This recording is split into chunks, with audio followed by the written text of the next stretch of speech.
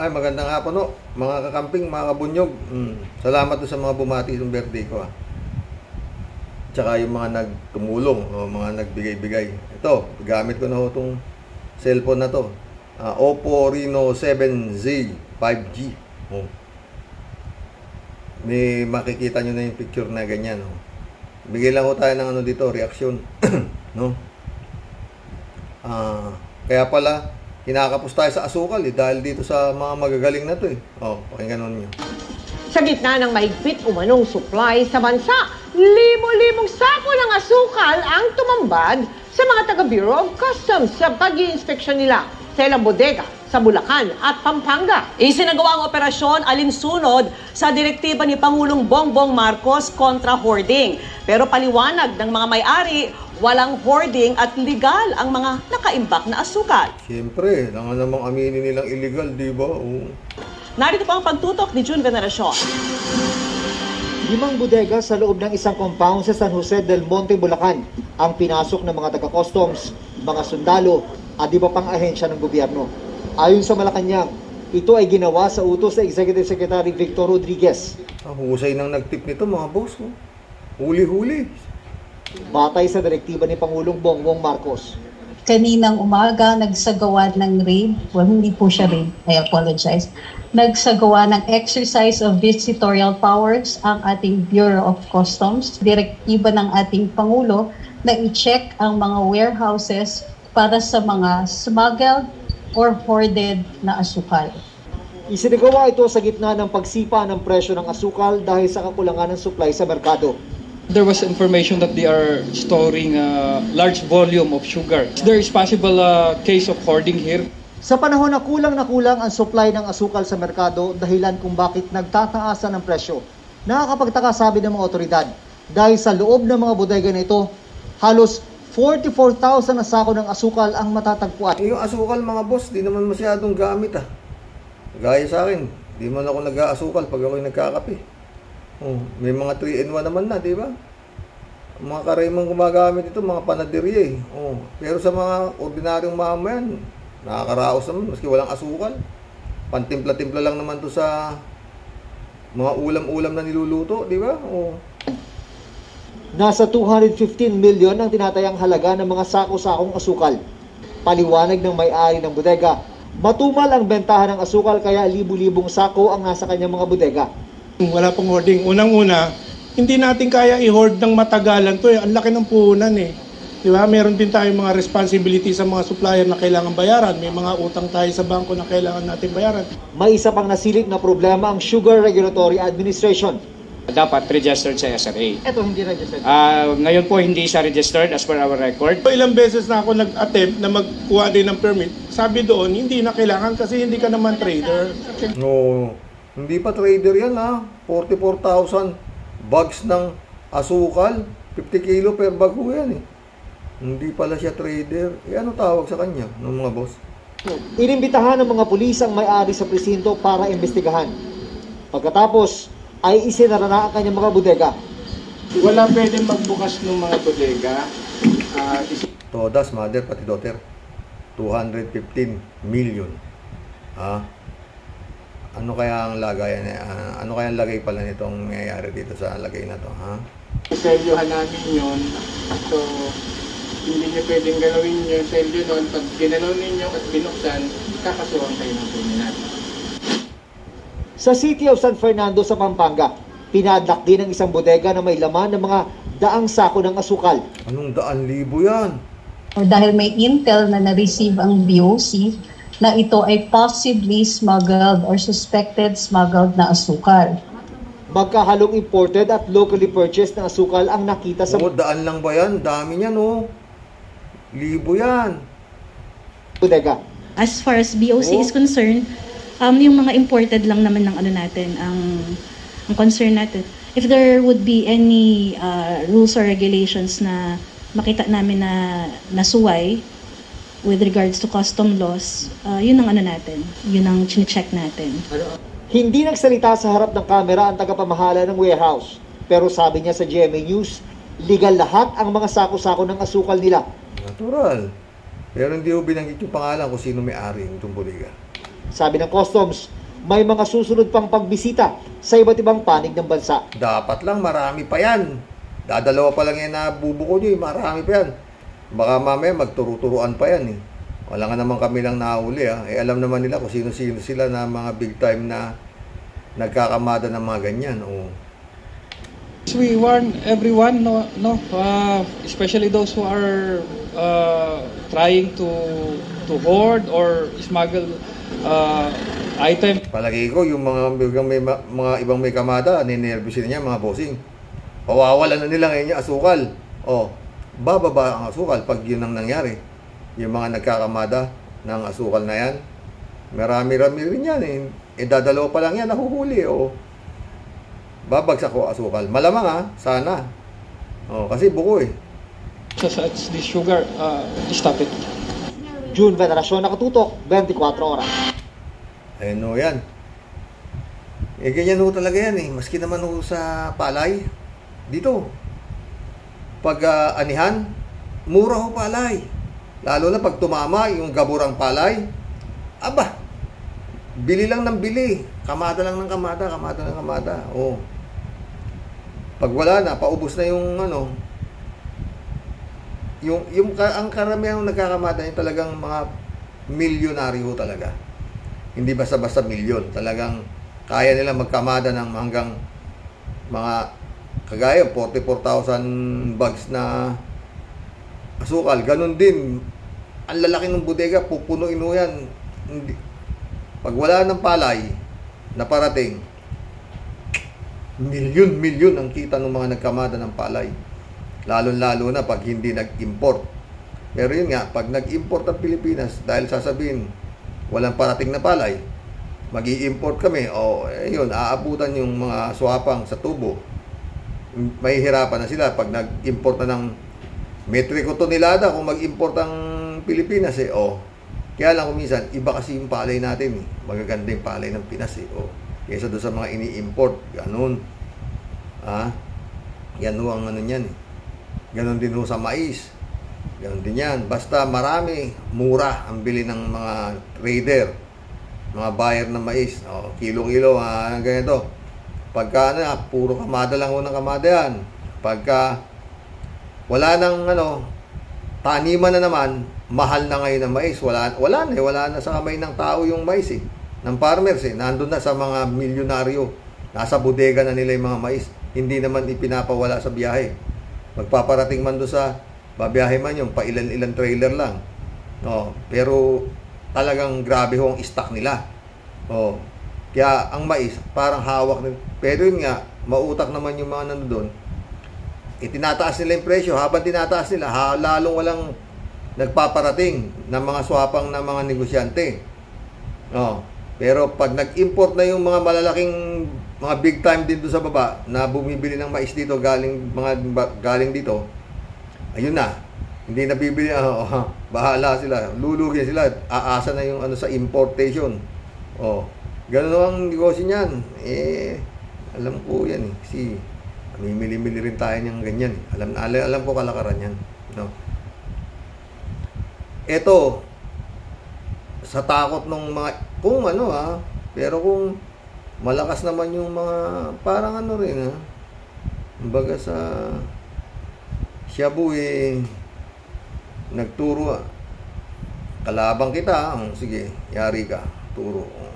Eh yung nagturo sa iyo nakasandal sa pader oh, yung sa kanya hindi huli yung sa iyo huli oh di ba ganun din yan eh ganun din yung mga ngayon ito nahuli to si ah, limi, limi, ito to si Chua nahuli oh gagantihan. Alangan naman ako lang huli ha. Oh, marami naman tayo ganito eh.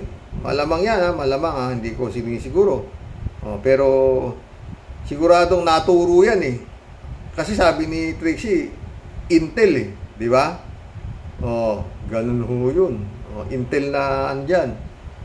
Hmm.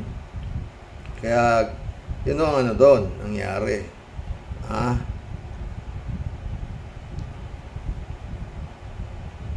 Kaya pala walang dumarating na asukal. Wala. Kaya pala shortage ng sugar shortage tayo. Eh, bakit nga hindi magiging shortage eh? Nakatambak sa mga bodega nito mga inchik yung ano, yung mga asukal. Ayaw pawalan. Oh. Talagang gigipit. Eh, 44,000 na, ilang metro ko tonelada yan? Yung 44,000 na sako ng asukal na yan. Ha? 2,200 yata. Metriko tonelada ha. Oh, kung kilo naman ho yan, 2,200,000 kilos. Kung uh, yung 44,000 kilo na ah, sako na, na, na, na, ano na yan, na asukal na yan, 2,200,000 kilos. Pero pag kinonvert mo sa metriko tonelada, tag 1,000, ang ano niyan, bali, nasa 2,200 ho yan, metriko toneladas. Oo. Yan yung 44,000 ha, nasa ako ha. Eh, what more yung gustong i-import nung ano, 300,000 metriko tonelada? Ang dami nun. Oh, Diyos, grabe yun. Baka masyado nang tumamis ang Pilipinas. Eh, pero sabi nga ni Bebe, eh, ni His Excellency, eh, 150 na lang ang ating importin, mag-import na tayo 150. Metriko tonelada. Gaano karami na naman ho yun? Hinati lang ano, billion siguro aabutin ho yun. Yung kukunin. And, ang dami hong asukal pa. Dito lang sa amin, dito, dati walang nagtatanim ng tubo. Ngayon, marami na rin eh. Oh. Marami na rin eh. Nagtatanim ng tubo eh. Oh. Dito marami na. Ita-hektarya at tagi yung dating maisan. Pinaupa na lang nila doon sa mga gustong magtanim ng tubo. Lupahan lang yung lupa nila. Oh. Ganun ang labanan dito. Kasi nga, yung mga dating maisan, eh, wala na silang maikapital dahil yun nga, uh, mahalang guano, mahalang binhi, pagkatapos mura lang yung kanilang uh, ano, kaya pinauupan na lang nila sa mga nagtutubo. Ganun ang ano niya.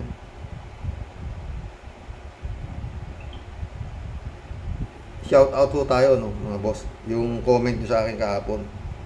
Ha? sa vlog ko. Ba? Yung ano, vlog namin ni Balong, salamat sa mga nanood kagabi ha. Ito, may konting comment naman. Sabi ni African Size. Happy birthday, Man Rocks. Oh, salamat, salamat. Si Giselle, si Giselle Stepan. Tama, sabi ni Giselle Stepan. Kasi, nagkikwenta namin ni Balong kahapon tungkol sa uh, kaunlaran ng Hong Kong at saka parang politika ganyan yan ang topic namin gawong kagabi. Oh. Uh, marami namang nakipag ano, nakipag uh, nanood. Oh, sila Kalat ni Baya, sila Giselle Esteban ato, sabi ni Giselle Esteban. Tama, dito sa Europe, mga gamit sa bahay ay at furniture made in China. Lahat halos ng gamit dito made in China buong mundo China buong mundo China na sabi ni Giselle Stefan to si Roger Collado mahaba ang ano niya eh. shout out Roger Collado ha ah.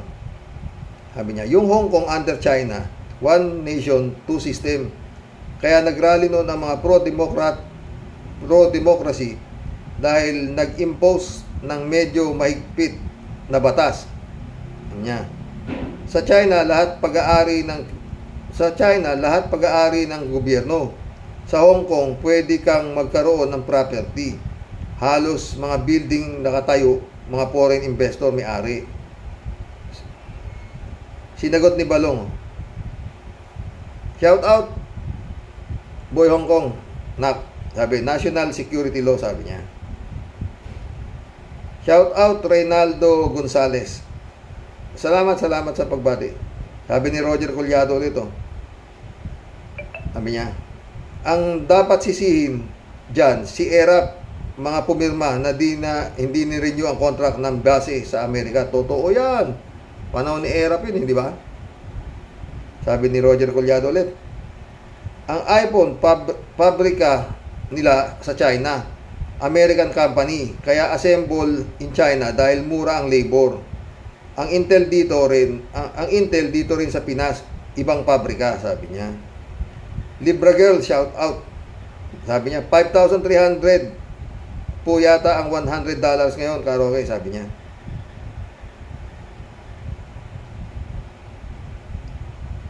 Yun no ang ano.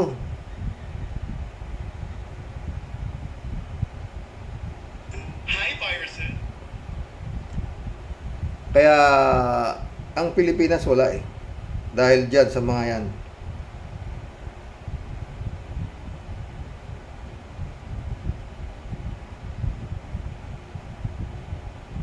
Ito naman yung isang sa vlog ko isa. Yung ibang kapulisan. Ibang kapulisan, bakit kaya ganyan sabi niya. Sabi ni Joe Chalan. Shout out Joe Chalan. Salamat po, Xerox. One to Sawang collab gabi-gabi po sir, sa Rocky Avenue sabi niya. Wala eh, na, na-enjoy talaga ako sa inyo sa totoo lang. Sabi ni Joe Chalan ito, ang galing talaga ng mga bright na mga subscriber ni Sir Rox. Congrats to all. Oh, isa ka na ron eh. Tonki shout at Ton Tony shout out. Tony K shout out. Salamat, salamat sa bati. Elizabeth Iscare, sabi ni Elizabeth Iscare. Oh. Good evening. Ang masasabi ko lang sa mga pulis na yan, tinaasan na ang sweldo nila. Mga abusado pa sila. At marami sa kanila, kotong. Pero meron pa din naman na matino. Pero bibihira lang. Sabi niya, sana ho may isang matinding ahensya na magparusa sa kanila. At biga, bigating parusa. At never nang bumalik. At lifetime na ikulong yan. Oo. Ma'am Shervin Sapeda, shout out ah. Oo, mahaba. Sabi ni Ma'am Shervin Sapeda, oh, siguro pag, pag anuhan niyo to ah. Wala pong umay sa pagbati ng hep hep hooray, hep hep hooray. Sabi niya, para po sa 65th birthday mo, Sero. Salamat, salamat. Ma'am Shervin Sapeda. Niya. Mabuhay ka pong hanggang gusto mong kaloob ng Diyos sa amin. May God bless you many, many more great years of life to celebrate ahead of you, sabi niya. Stay healthy po and keep safe po palagi, sabi ni ma'am. Salamat ha, sa concern ha. Haba yo, mga katropang Roque Avenue, sabay-sabay po nating awitan ng masayang happy birthday ang ating pinuno at nag-iisa pong kakampi at kasama po natin sa lahat ng konsumisyon. Sama ng loob para po sa mga hudas na nagpapahirap po sa lahat ng mga Pilipino. More power sa iyo, Zero. Salamat, salamat. Laban lang po, sabi niya ulit. Laban lang, laban lang po sa pagsigaw. Baka po sakali may milagro po sa sobra at sorpresa si Lord sa bandang huli. Sana nga, share, Ma'am Shervin ha. Shout out po sa iyo, Sir Rox. Belated ah, ah, happy birthday po ulit sabi niya. Salamat po sa pakikipagtropa mo sa amin lahat. Oh, masaya ako. Salamat din na Ma'am Shervin sa PEDA, sa totoo lang. Mirna Regalado, shout out ah, my friend. Sabi ni Mirna Regalado. Good evening, Sir Rox. Happy birthday. May God bless you all the time. Magkasunod kayo ng birthday ng aking partner. Oh, ganun ba? Happy birthday din sa partner mo, ha? Sabi niya. Everyday akong sumusubaybay sa iyo. Salamat, Ma'am uh, Ma'am Mirna Regalado. Kaya lahat ni Baya, shout out, ha? Sabi ni lahat ni Baya, may comment siya doon sa ano, kapulisan. Sabi ni lahat niya, matagal na yan na sakit ng kat katulisan natin. Ka katulisan, kapulisan, katulisan. Talaga to si Kalat. Walang gamot sa sakit na yan. Kung, an kung sa taas ay gumagawa ng kagaguhan, sila pa kaya na nasa ilalim? Follow the leader lang yan. Galing mo talaga, ha? Kalat ni ka, ha? Sabi ni AC AC, oh. Hey, Xerox, mas maraming kurap na pulis ay nasa may, mahihirap na bansa pero nasa tamang pamumuno lang ang makakapagpatuwid at pagdisiplina sa mga alagad ng batas. Sa Pinas ay talagang hindi mawawala ang kurap at masasamang pulis. Ang mga dahilan ay marahil sugarol, madaming asawa at baka may bisyo tulad ng droga. Totoo yan, easy-easy ka ha. Sabi ni ano Ramon Oclares. Gandang gabi Karo, happy birthday. Oh, salamat. Salamat. Ang daming bumati talaga hapon. Masaya ako, masaya ako totoo. Madalas mga bagitong pulis ang gumagawa niyan kasi gusto nila malaking pera sa mabilis na paraan. Malakas ang loob nila dahil yung nagnanakaw ng milyon, bilyon, milyon o bilyon nakakalaya at nakakapwesto pa. Tama ka dyan. Ladies Anita, shout out ha. Magandang gabi po, Sir Roque, sabi niya. Maraming salamat at patuloy na pagbabahagi ng aming mga viewers mo, sabi niya. Ng magagandang issue topics. Mabuhay ang inyong programa, Mr. Sotolang. Salamat, Ladies Anita. Ha? Happy birthday po. Have a good day. Salamat, salamat sa inyo. Salamat. Ed Torres, shout out ha. Sabi ni Ed Torres. Happy birthday po, Karox. Kung edukasyon ang gamot sa kahirapan. Eto, to, to, to, matindi to si Ed Torres, ha. Happy birthday ho, Karox. Kung edukasyon ang gamot sa kahirapan, bakit maraming nakapwesto sa gobyerno ang may pinag-aralan na siya pang nagnanakaw ng limpak-limpak na salapi? Napakagandang tanong nitong kay Ed Torres na to. Oo. Hindi ko rin alam ang sagot. sa totoo lang. Ah, Ed Torres ka ha. Kung sino yung matalino, si, matalino sa pagnanakaw eh, sa halip na magsilbi. Kaya sabi nga ni Balong, eh. at yung mga ibang ano, mga ibang bansa na mauunlad, kagaya Singapore, sabi nila, wala raw talagang mga yung natawag dito, natural resources, puro imported ang kinakain nila. Sabi rin ni Balong kahapon, oh, wala silang mga palay, mga kung ano. Pero maunlad sila dahil magaling ang pamamalakad ng kanilang mga pinuno ng gobyerno. Eh dito sa atin ano? Sabi ni Sir Stefan ulit oh. Minsan nakakatuwa lang sa atin yung iba diyan, ang daming ninanakaw milyon pa at nahatulan. Bakit hindi nila yan hinuhuli at kinukulong? Ayan. Dalawan libo ayan, dalawan libo lang kinutong, hinuli nila agad. Tapos, nasa news pa. Hilig talagang magpahiya ng mga tao diyan sa atin. Tanggalin na lang ninyo pag hindi gumagawa ng mabuti, pasikat pa kayong mga nakakataas sa kanila. Sana hindi kayo gumagawa ng masama. Galit si Giselle Stefan. Oh. Ra- Rachel Sigera, shout out ha. Malaki ang nakukuha nila, sabi ni Rachel, oh. malaki ang nakukuha nilang biyaya. Saka bago sila maging pulis, grabe ang pinagdadaanan nilang hirap sa training. Tapos, sumumpa sila na we will serve and protect the people. Malamang baka may mga bisyo yan. Online na legal. Ah, online na sugal.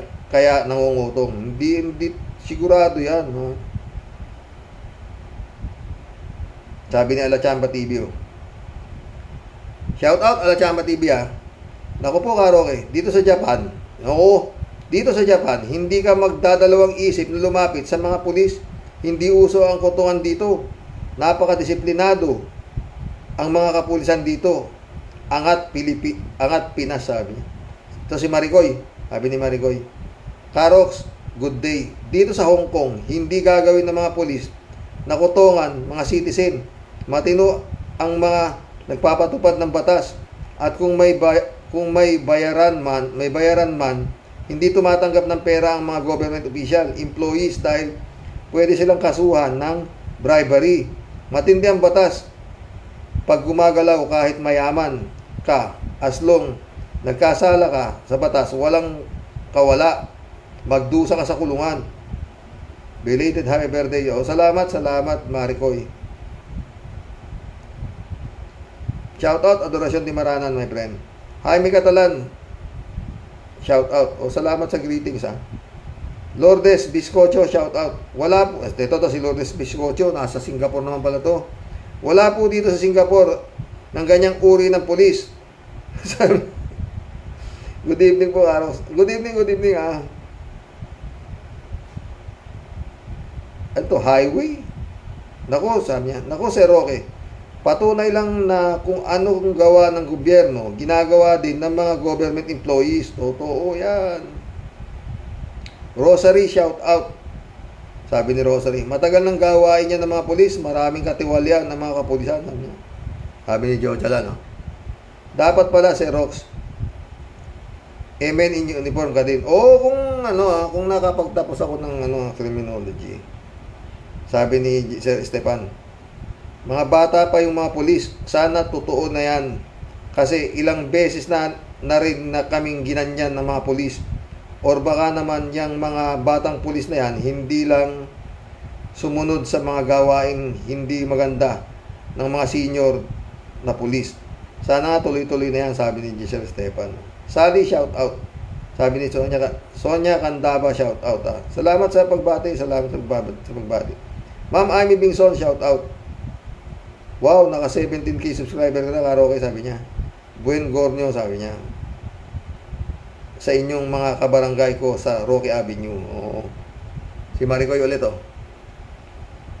Halimbawa na lang yung nahuli for illegal parking. Sabi ni Maricoy, i-issuean ng i-issuean lang ng pulis ng ticket ang driver, owner at ididikit sa wiper niya ng sasakyan para makita nila saka doon na sila magbabayad ng, sa transport department or makipag-areglo tapos dito sa mga pulis may 5 minutes pa na palugit driver wala siya sa loob ng sasakyan tatawagan sila nila as long na makontak para alisin ang car na naka-illegal parking.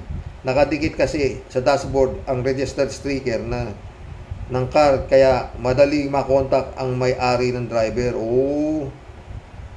Sabi ni Sonia Candaba. May gustong pamarisan yung mga pulis na na yan. Baka sakali lumusot din sila. Maaga maging big time kaso naputol agad. Thanks Lord, nabawasan ang tatlo mga kotong. Clarita Distrito, shout out ah. Magtrabaho ng maayos at gawin ang trabaho na tuwid para maiwasan makagawa ng di maganda at huwag maghangad ng maghangad at umangkin ng hindi pinaghirapan. Tama. Pastor Sek, shout out my friend. Sabi ni Chalanet. Hello Sir Rox, maraming pamilya yung mga pulis na kotong. Ano sa palagay mo? Ito, your guess is as good as mine. Ha? Emi Dinan, shout out. Xerox dito sa ito, ito, ito, ito. Emi Dinan. Sabi niya, Xerox dito sa Amerika, walang ganyan. Mga pulis, tanggal agad yan. Ang batas dito, pantay-pantay. Hindi uso lagay dito. Hindi katulad sa Pinas. Uso lagay, sabi ni Emi Dinan. Shout out, Emi Dinan. Bagong subscriber siguro to. Si, naman si ano? Arnel Bin. Hiya naman ako sa mga hinayupak na to di marunong mahiya. Pati mga pobre na namamasada gustong dilihensyahan. Totoo yan, Arnel Bin. Ha? Pepe Madlang Bayan, shout out. Kita nyo naman, para mapwesto ka ngayon, 100 million para kay Vic Rodriguez. Patay tayo dyan. No? Uupo yan. Ano sa tingin ninyo ang gagawin yan para makabawi? Kawawang bayan ko. Tama ka dyan, Pepe Madlang Bayan ka ha. Lorena Capistrano, shout out, sabi niya. Baka may bisyo kaya nangongotong. Hindi baka, sigurado. At yun nga, ang pinakamabigat na bisyo niya, mangotong. Ha? Sabi ni Miguel Soriano, Good evening, Xerox, common sense. Kanya-kanya na lang racket ang kapulisan. Yung hepe, nagmamalinis, ginagaya lang naman sila ng mga tauhan nila. Patay tayo dyan. Ganun ba, Miguel? Sabi ni Dio Gemar Arlanza, mataas na nga sahod, mangungutong pa. Totoo yan. Danilo Rubio, shout out ha. Sabi ni Alvin Salung Salunga, Salunga, only in the Philippines. Patay tayo dyan.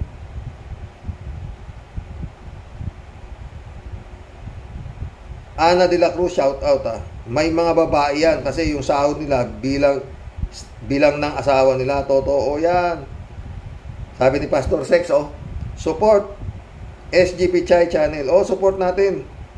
Sabi ni Mama G, justice na lang ba ang mga nawawalang mga sabungero, karoks? Eh, gano'n na nga Mama G, ano pa ba?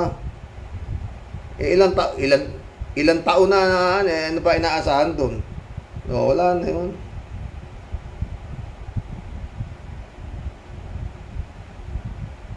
Oh, nasagot ko yung ano, dalawa bali yung vlog ko tsaka yung sa ano. Nakapag-collab tayo mga boss ha. Hmm. Salamat po ulit hmm, doon sa mga bumati kagapon, no? Shout out Dolor Garcia, Brother Eli Asistio. Hmm. Ryan Yumura, shout out. Eman Escalona, my friend, ha? Oh.